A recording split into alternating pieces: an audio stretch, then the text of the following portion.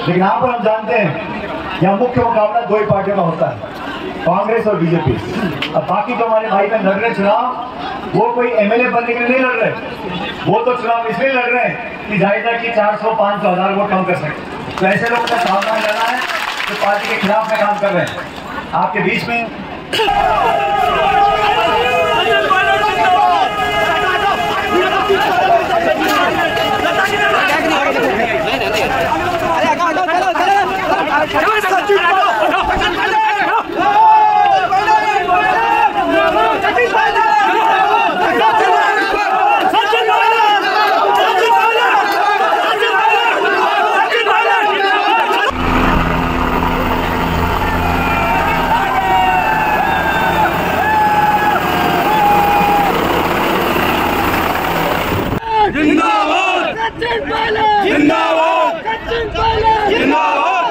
सचिन पायलट जिंदाबाद I love you I love you.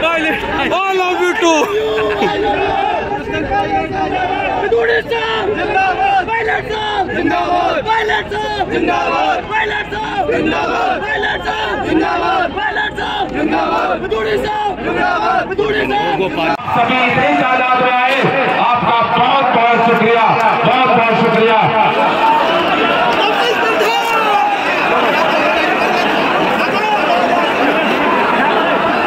इस रसोई में डेढ़ सौ बर्तन होते हैं। थोड़ा बहुत आपस बांटते हुए जब बर्तन आपस में बच सकते हैं तो थोड़ी बहुत खींचतान तो भाई बहन चलती रहती है। लेकिन आज उद्देश्य हमारा ये है कि बड़ा चुनाव है, प्रदेश का चुनाव है। उद्देश्य ये है कि देश और प्रदेश में सियासत की बागडोर हम किन लोगों को देने जा रहे हैं?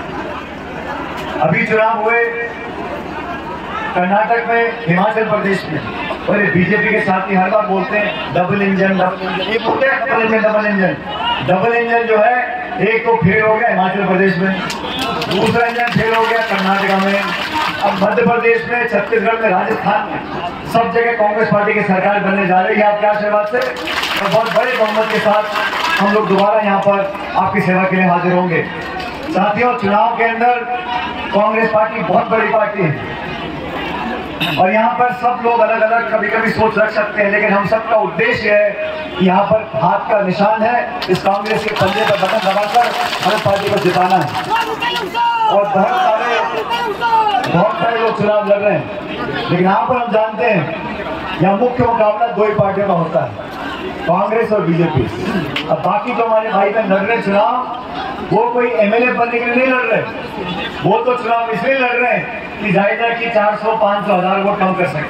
तो ऐसे लोग का सावधान रहना है जो पार्टी के खिलाफ में काम कर रहे हैं। आपके बीच में अभी स्वर्गीय तैयब जी का नाम लिया। तैयब हुसैन जी ने इस क्षेत्र को, इस इलाके को, इस कौम को एक पहचान दी थी और उससे कोई चाह कर नहीं मिटा सकता, ये बात आप जानते हो। और चौधरी साहब का जो काम करने का तरीका था चौधरी साहब का जो काम करने का तरीका था। उसे मैं भी जानता हूँ तो बचपन में देखता था। और जब पहली बार मैं राजा जी को मिला उस टाइम प्रधान की बाड़ी से कामा से ये प्रधान थी तैयार साहब जितना थे। और मैं राजनीति शुरू कर रहा था पच्चीस साल पुरानी बात था और ये रिश्ता आज का नहीं पुराना है। इसलिए आपसे कहने आया हूँ, कांग्रेस पार्टी के साथ, परिवार के साथ बहुत पुराना नाता है और हमें आगे की तरफ़ देखना है। अब जो बीत गया, सो बीत गया, समय वापस आने वाला नहीं है। जो टाइम निकल गया, वो निकल गया। अब तो आगे हम लोगों को अब तो हमें अब तो हमें आगे की तरफ़ देखना है पच्चीस तारीख को वोट बनेगा, एक एक वोट कीमती है। और हमें वोट खराब नहीं करना। वोट की कीमत भाषण देने से, नारे लगाने से माथा पहनने से वोट नहीं बढ़ती। वोट तो बटन दबा के दबती है। और बटन सही जगह दबना चाहिए। सामने दबना चाहिए। और कांग्रेस वो पार्टी है, जो हर जाति बिरादरी की पार्टी है। हर धर्म, हर समुदाय की। गंगा जमुना तहजीब का मान सम्मान करने वाली वो पार्टी है। इसलिए मेरा आप सबसे निवेदन है कि आप सब सारी बातें भूल के छत्तीस बिरादरी के लोग, चारों धर्म के लोग एक मिसाल कायम करो कि वो ताकतें जो देश को, प्रदेश को, समाज को बांटा तोड़ना चाहती है, वो ताकतों को नहीं बढ़ने देना। हम सब इस मिट्टी से बने हैं। हम सब का एक हम सब चाहते हैं आने वाला समय अमन चैन भाईचारे का हो। इसलिए आप सब भाई बहनों से विशेषकर नौजवान से मेरा अनुरोध है। अभी दो तीन दिन समय बचे चुनाव के। मुझे बहुत प्रचार करने के लिए जाना है।